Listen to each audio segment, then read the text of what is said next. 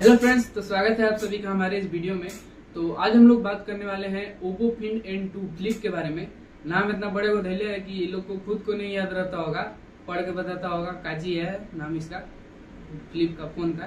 तो फ्रेंड्स नाम को हटाइए साइड में और ये फ़ोन जो है, वो सैमसंग के फ्लिप फ़ोन से मतलब मिलता जुलता है। और यहाँ पर आपको डायमेंसिटी 9000 प्लस का प्रोसेसर देखने को मिल जाता है, जो कि आप सब कुछ कर लीजिएगा इसमें। गेम वूम तो सब खेल लीजिएगा। और यहाँ पर आप मतलब फ़ोन वाला सारा काम कर लीजिएगा। और यहाँ पर पीसी वाला तो बिल्कुल नहीं चलेगा। पीसी वाला नहीं मतलब फ़ोन वाला सारा गेम खेल लीजिएगा। आप इसमें कोई दिक्कत नहीं होगा। और यहाँ पर यहाँ पर आप एडिटिंग वगैरह जो भी करते हो, सब अच्छे से होगा। और यहाँ पर डिस्प्ले बहुत तगड़ा दिया हुआ है फ्रेंड्स जो कि दो दो डिस्प्ले है। और यहाँ पर जो मेन जो डिस्प्ले है, जो इसे खुलता है, जो बड़ा वाला डिस्प्ले है, वो 6.8 इंच का full H D plus AMOLED display देखने को मिल जाता है, जो कि ई सिक्स पैनल है, जो कि बहुत ही ज़्यादा बैटरी इफिशियंट है फ्रेंड्स और जो छोटकी से डिस्प्ले हो कैमरा के जस्ट बगल में देखने को मिल जाता है. 6.28 सीएम का है फ्रेंड्स और यहाँ पर आपको बैटरी की बात करें तो चार हज़ार तीन सौ एमएच की बैटरी देखने को मिल जाती है. तो फ्रेंड्स एक दिन से ज़्यादा मतलब एक दिन तक मतलब आपका आराम से चलेगा, क्योंकि सब इसमें बैटरी बचाने वाला है.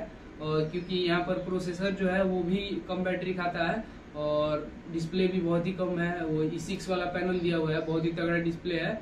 और फ्रेंड्स इसका जो हिंज है, वो जैसे सैमसंग के फ्लिप फ़ोन में आप फ्लिप कर दीजिएगा मतलब बंद कर दीजिएगा तो उसका थोड़ा, उसके बीच से देखिएगा तो आर पार दिखता है, लेकिन इसमें नहीं दिखता है।